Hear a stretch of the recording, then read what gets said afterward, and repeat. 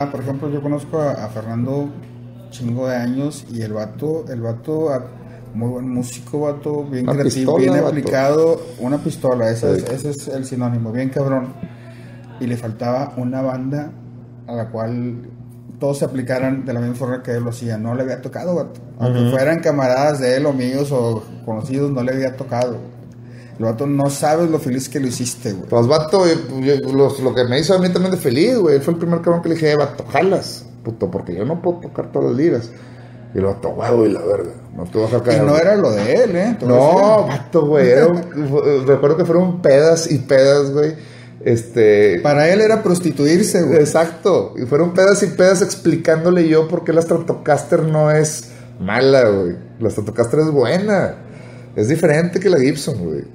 O sea, la distorsión está con madre con la Gibson, pero el funk, güey, es Stratocaster. Y oyendo discos de Prince, güey. Hasta que el vato entendiera, entendió y ahorita funkea bien duro el vato, güey. ¿Se me entiendes? Y acá ponchado, Exacto. Sí, es- güey. no, es, es un metalerote duro, güey. Sí, sí, sí. Y es una pistola y le pones una pinche Les Paul y te, te hace cagar que se ponga enfrente. Pero el vato no agarraba una Strat, güey.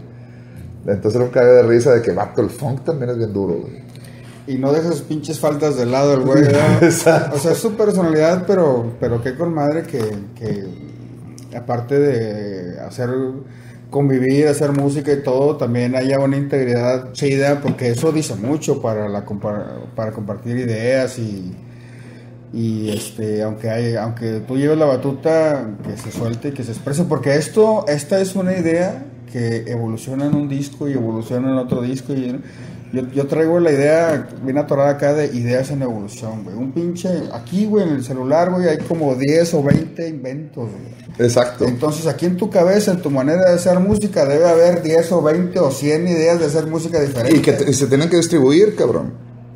Y yo también creo que aquí no termina este pedo, ¿no? Desde, digo, el proyecto tiene un nombre y seguramente, o esa es mi intención y estoy seguro que mis compañeros piensan igual, hay que hacer varios este, discos o entregas más, ¿no? Pero si este pedo se mueve para otro lado, yo creo que nos vamos a mover juntos, los cinco o seis cabrones que estamos junto con el staff, güey.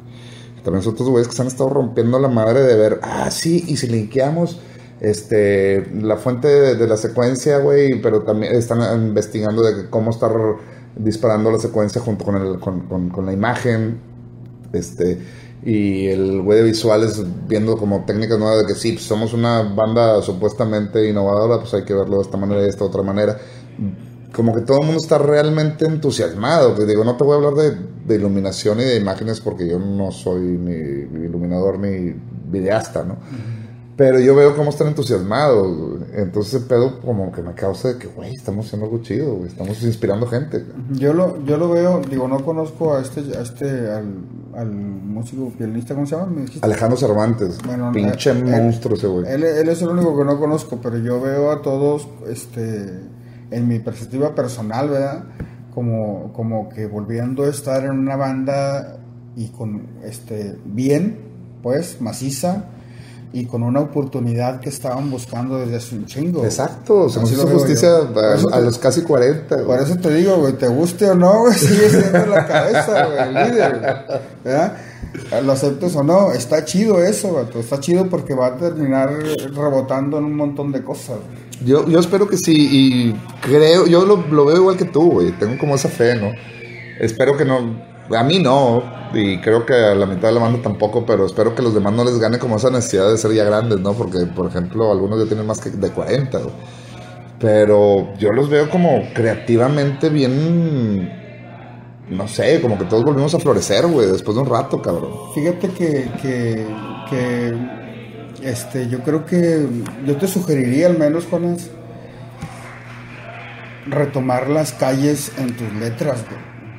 El, el- el- lo urbano, digo, está chido lo que estás haciendo como una sugerencia personal, como lo hacías antes, retratabas tu medio ambiente con las canciones, hablabas de lo que veías, ahora ya de, de tus viajes y toda la onda, pero yo creo que, que, que ese, eso ayuda a que trasciendan las canciones.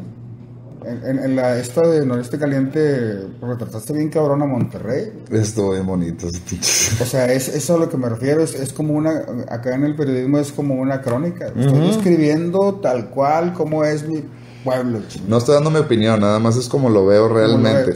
Fíjate que yo hace un chingo también anduve en bandas y, y- y oí una expresión que dijo una vez un taxista. Yo vivo en un pinche rancho donde las nubes, donde los, ¿cómo dijo? Donde las nubes rayan los cerros y se queda la pelocita así. dije, a la madre, eso está con madre para una rola, güey. Así de que, o sea, cosas así como que, como no queriendo, se pegan, me explico. Exacto. Sugeriría que, porque como que ah, estás evolucionando en tu forma de escribir y todo, pero, pero un poco como, como lo que decías ahorita, la rolita comercial y la rolita acá media fumada y así inconscientemente como el disco primero de zurdo. La mitad estaba muy ponchada y la otra estaba medio fresa. Y Exacto. Y, y retomar el barrio, cabrón. A la- es que a lo mejor me he hecho tan pinche amargo y ermitaño últimamente, que no salgo mucho, pero a lo mejor recordado cuando estaba más chavo que también estaría padre. Creo que reflejo lo que pienso, güey, realmente, ¿no? Y, y lo que vives. Sí, y a lo mejor vivo ya cosas bien raras, este, paranoicas y torcidas, ¿no? Eh, todo el mundo tenemos algo de, de- de- de- obsesivos, ¿no? Yo soy así diagnosticado obsesivo compulsivo desde hace un vergo de años. Entonces yo creo que es tanto darle vueltas a la idea y no dejarlo tan simple. A lo mejor es un error mío, güey, pero debo de ser más simple. Y por eso me gusta la cerveza, porque eso me, me hace pensar menos. Te relaja. Cabrón, güey, me pendeja, güey, es lo que necesito. Me decía, lo- me decía el doctor, güey, ¿te gustan las drogas? Yo, no, güey, me cagan a la verga. Me dice, no, pues sí, eres obsesivo hasta la verga. ¿Por qué, güey? Que me dice, no, pues las drogas te hacen pensar más, güey. Tú lo que quieres es dejar que esa madre dé vueltas, güey, a la verga. Entonces eres alcohólico. Y le digo, puta, güey, creo que honrosamente sí. Honrosamente. Carta blanquero, güey. Pues te veo ahorita bastante relajado. Contento, güey. ¿Estás contento? Sí. Otra vez tengo así como lo- en, en mi estado tranquilo de estar produciendo ideas y estarlas sacando, ¿no? No dejándolas atoradas en el, en el sistema, ¿no? Eso está chido también para mí de, de las bitches, cabrón. Estar ahí como que sacando por más ridículas, violentas o lo que sea, güey. Estarlas nada más sacando. Está chido. Y despreocúpate, vato. Tienes tres ojos de preocupación. O sea, estás relajado. Fíjate, yo creo que cuando nos vamos haciendo más maduros, yo, yo tengo la peculiaridad de que me acelero, que quiero que estén las cosas rápido en mis ondas, en mi trabajo y así. Pero siento que entre más viejos nos hacemos, nos volvemos más sensibles Ajá. y más preocupones. Así está. De, de chinga, güey, no hay dinero para esto y no hay dinero para otro. Y, y- se, se preocupa uno, como dice la frasecita esa de motivación, en vez- se preocupa uno en vez de ocuparse. Y si, y si uno, al hacer tantas cosas, ya se, se está quemando el coco, pues hay que delegar. A ver, ¿quién sí puede hacerlo y que esté fresco? güey? No, tú ya, tú eres la cara, la imagen, la cabeza, el líder. A ver, güey, ponte a alguien que también queme el coco y que se suba al barco. Exacto, es lo que está pasando también con esta banda, que está chido, como que todo el mundo le agarró cariño y cada quien está haciendo una parte, ¿no? Y está padre, ya siento como una pequeña empresita de, de, puros, este, eh, rejecteds, güey, haciendo cosas interesantes y todos contentos, güey. Y de repente nos va bien, y hay un pesito para, quien, para cada quien, y hay veces que no, pero como que no se pierde el espíritu, y eso es lo que Creo que uno de los logros más grandes también de la banda es ese mismo pedo, ¿no? De haber otra vez vuelto a crear como un entorno de amistad bien grande, como un entorno de, güey, estamos luchando por un, este, una idea artística, ¿no? Como una puestita de teatro, no te voy a decir que un pedo ni revolucionario, ni intelectual, ni nada, pero sí de que, vato, tenemos un grupo de amigos, güey. Somos 15, 20 culeros trabajando alrededor de esta banda y... Los que conforman la banda, Sí. 15 20 personas. De ahí, sí, entre... Somos, somos como 15 cabrones que trabajamos y como 6 o 7... Que dan la cara. ¿no? Eh, no, como 6 o 7 todavía de las esposas o novias de ellos, güey, de algunos de ellos que siempre cuando estamos de rol son- somos 20 24 personas, ¿no? Entonces sientes que vas en tu combo de gente, que está padre, cabrón. Está chido. Y nos ponemos la playera todos, y ya sabes, ¿no?